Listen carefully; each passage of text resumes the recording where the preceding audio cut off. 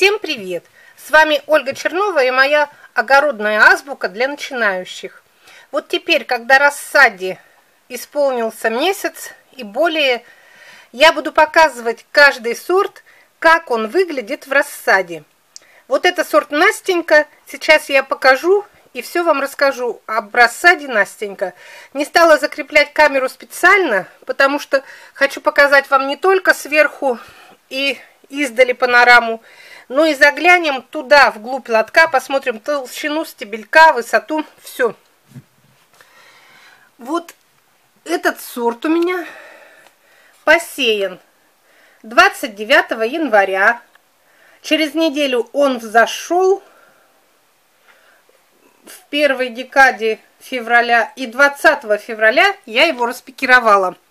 Распекировала я его густо, посадка загущена не в отдельные лоточки, потому что этот сорт Настенька, этот вот один из тех удивительных сортов, который не вытягивается в рассаде и позволяет выращивать себя загущенно.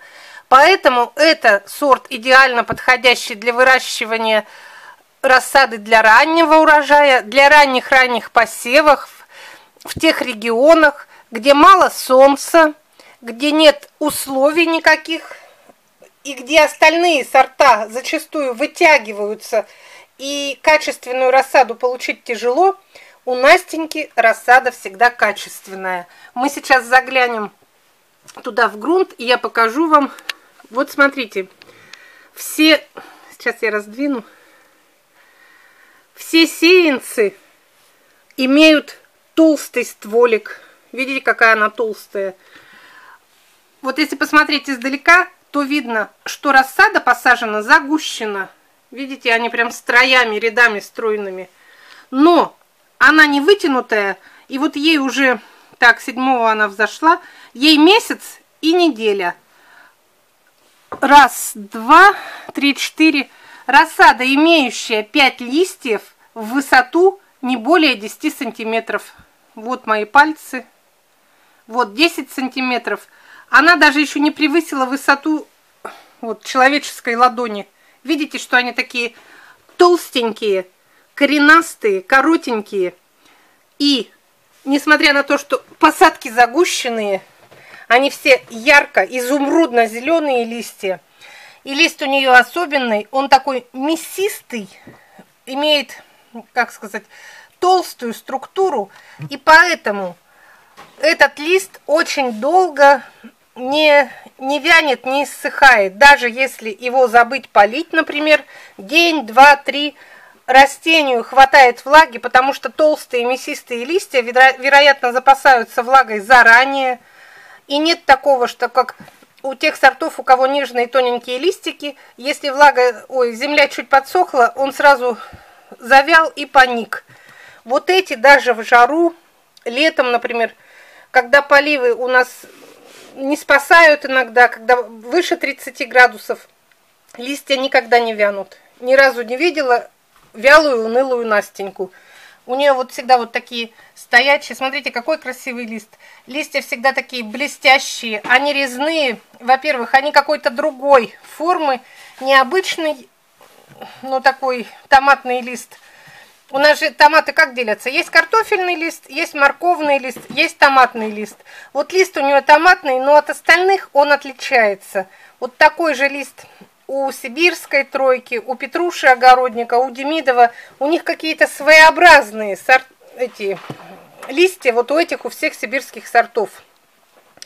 Вот я показала вам специально рассаду месячную, больше месяца, которая не рассажена у меня – не распекирована второй раз. Вот я ее буду пикировать второй раз, но пока она позволяет себя держать вот в таком загущенном виде, я буду ее держать, потому что у нас еще естественного солнца очень мало на окнах. Места всем, конечно, не хватает под лампой. Хочется и перцы туда поставить, и баклажаны, и томаты. Поэтому у меня они вот в таком виде. И именно поэтому я остановила свой выбор на вот этих сортах сибирских, детерминантных, которые не израстают в рассаде для выращивания ранних урожаев. Конечно, я сейчас с 18 марта буду сеять Вот сегодня 16 марта, забыла дату указать. С 18 с послезавтрашнего числа я буду сеять, продолжать для открытого грунта, все с тонкими стебельками, с нежными листиками. Но для первых, для первых посадок я все-таки выбираю вот такие. Вот она у меня сейчас такая красавица. В этом лотке, поверьте мне на слово, она может просидеть еще полмесяца, даже вот до начала апреля. Потом ее можно будет сразу или высадить в теплицу, или в какой-то парник. Но я, скорее всего, буду еще раз распекировывать по более просторной таре, но только для того, чтобы повысить качество рассады. Потому что для, все, для любой рассады, любых сортов определенного возраста требуется свое количество грунта. Вот судя по тому, что здесь уже 5 листьев, можно понять, что она уже взрослая, и ей бы, конечно, нужно немного побольше грунта. Поэтому вот во второй половине марта я ей дам побольше грунта, рассажу или в полкилограммовые стаканчики, или сразу в килограммовые. Это зависит от того, куда я ее потом буду высаживать. Если буду высаживать в теплицу, то достаточно будет маленьких стаканчиков, а для открытого грунта, так как ей придется там дольше сидеть, то тара, конечно, должна быть немного больше. До свидания. С вами была Ольга Чернова и обзор рассады Настенька, который уже идет второй месяц. Очень хороший сорт, рекомендую.